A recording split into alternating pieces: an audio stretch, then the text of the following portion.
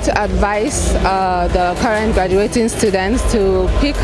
try to find out what they like, what is of interest to them and pick it because at the times where work or the stress gets too much, it's that passion to do what you love that will motivate you.